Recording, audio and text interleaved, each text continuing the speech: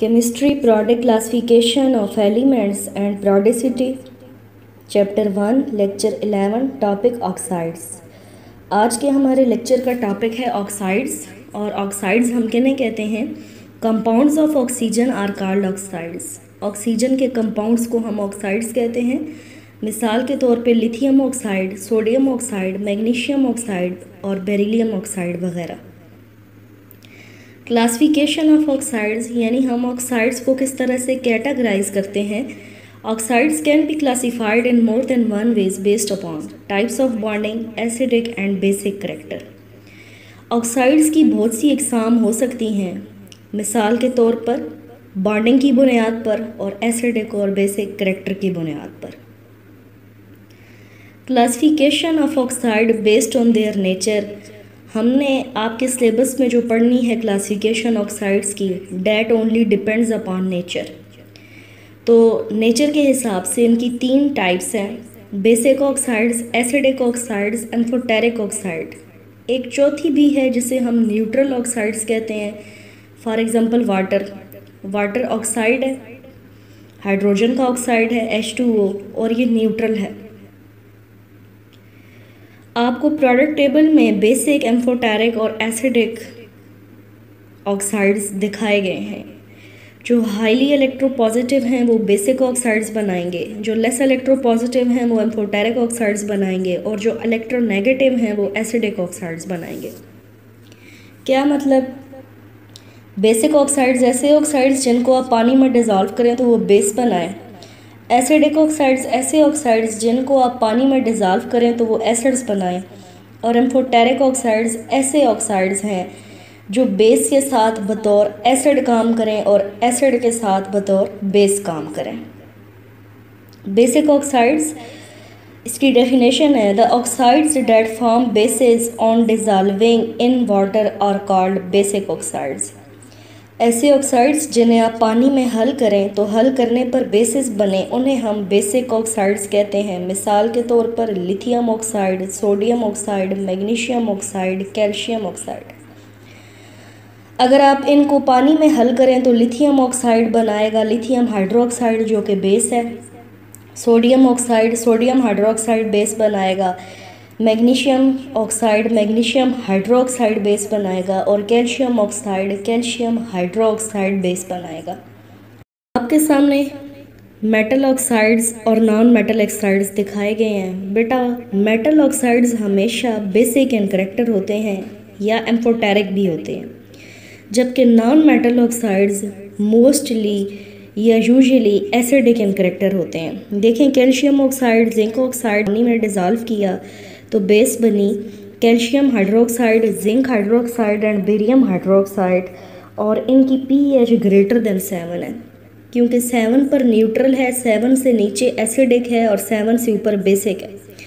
Carbon dioxide sulphur dioxide और nitric dioxide आपने पानी में हल किया तो कार्बोनिक एसिड बना सल्फ्यूरस एसिड बना और नाइट्रिक एसिड बना और इनकी पीएच लेस देन सेवन है Basic oxides The oxides of alkali and alkaline earth metals except beryllium oxides are basic in character and contain oxide ion, dioxide ion.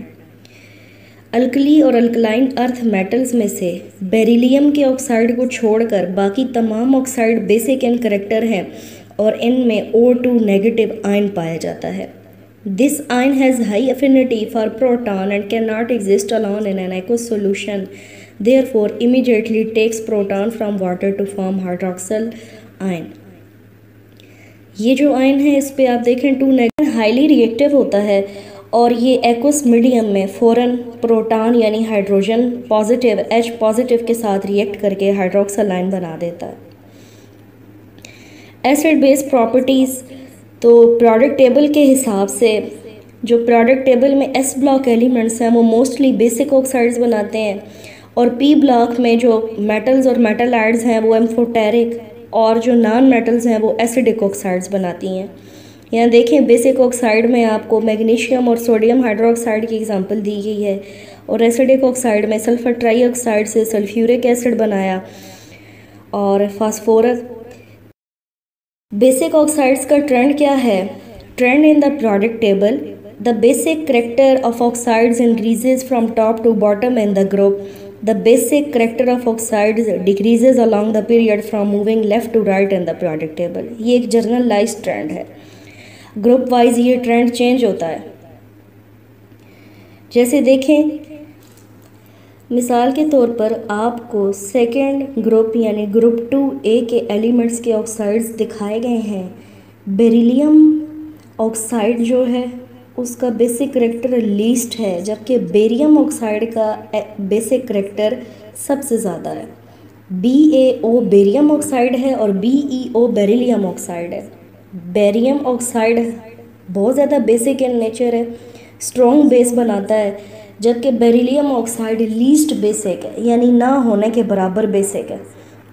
तो उसका मतलब है beryllium oxide is less basic than magnesium oxide magnesium oxide is less basic than calcium oxide and calcium oxide is less basic than strontium oxide and strontium oxide is less basic than barium oxide तो उसका मतलब है कि group one ए और to ए में ऊपर से नीचे आते हुए बेसिक करेक्टर बढ़ता है। Acidic oxides. The oxides that form acids on dissolving in water are called acidic oxides.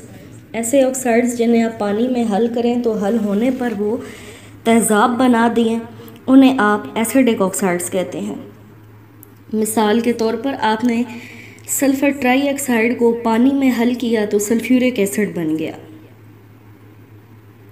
oxides of non metals such as carbon nitrogen phosphorus sulphur are acidic in nature they generally dissolve in water to produce acidic solution carbon dioxide से carbonic acid बनेगा। Nitrogen से nitric oxide और फिर उससे nitric acid बनेगा। Phosphorus से phosphorus oxide और फिर उससे फास्फोरिक एसिड बनेगा।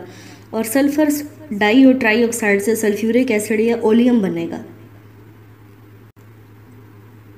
Trend in the periodic table the acidic character of oxides increases along the period from moving left to right in the periodic table. Along the period, acidic character बढ़ता है the acidic character of oxides decreases from top to bottom in the group amphoteric oxides ऐसे oxides जो base के साथ मिलें तो acid बन जाएँ यानी एसिड के तौर पर बिहेव करें और एसिड के साथ रिएक्ट करें तो बेस बन जाएँ यानी बेस के तौर पर बिहेव करें। The oxides which show both acidic and basic properties are called amphoteric oxides. For example, zinc oxide, aluminium oxide and lead oxide, lead dioxide. Oxides of less electropositive elements such as beryllium oxide, aluminium oxide, zinc oxide, bismuth oxide are examples of amphoteric oxides and behave as acids towards strong bases and act as a base towards strong acids. Amphoteric oxide की example देखें aluminium oxide को जब आपने hydrochloric acid के साथ मिलाया तो aluminium chloride और वाटर बना। यहाँ पर एलुमिनियम ऑक्साइड ने एज अ बेस रिएक्ट किया है एज अ बेस बिहेव किया है। अगले रिएक्शन में देखें aluminium oxide plus sodium hydroxide अब आप एलुमिनियम ऑक्साइड का रिएक्शन कर रहे हैं स्ट्रॉन्ग बेस से तो फिर क्या बना? सोडियम एलुमिनेट और वाटर यानी साल्ट और वाटर बना। अब यहाँ पर एलुमिनियम ऑक्साइड बतौर एसिड बिहेव कर रहा है। तो ये एम्फोटेरिक ऑक्साइड है। Trend of oxides in short periods the oxides changes from strongly basic through weakly basic amphoteric and weakly acidic to strongly acidic short periods में जो ऑक्साइड्स का ट्रेंड है, वो स्ट्रॉन्ग बेसिक से वीक बेस को shift होता है। Weak base से एम्फोटेरिक और एम्फोटेरिक से वीकली एसिडिक और वीकली एसिडिक से स्ट्रॉन्गली एसिडिक को शिफ्ट हो जाता है। The acidic character increases with increasing oxidation state और ऑक्सीडेशन स्टेट के बढ़ने से भी एसिडिक करेक्टर बढ़ता है। सो शॉर्ट पीरियड्स में से sodium oxide magnesium oxide aluminium oxide और फास्फोरस ऑक्साइड की एग्जांपल्स दिखाई गई हैं। ये स्ट्रॉन्ग बेस से वीक बेस वीक बेस से एम्फोटेरिक और एम्फोटेरिक से वीकली एसिडिक दिखाए गए हैं। नीचे अगर आप देखें तो जो M N two O seven है, ये हाईली एसिडिक है, या ये मोर एसिडिक है than M N O two और M N O two more acidic है than M N two O three और ये मोर एसिडिक है देन एम एन ओ इसकी वजह ये है कि M N two O seven में ऑक्सीडेशन स्टेट ज़्यादा है फिर उसके बाद एम एन टू में ज़्यादा है और उसके बाद M N two O three में और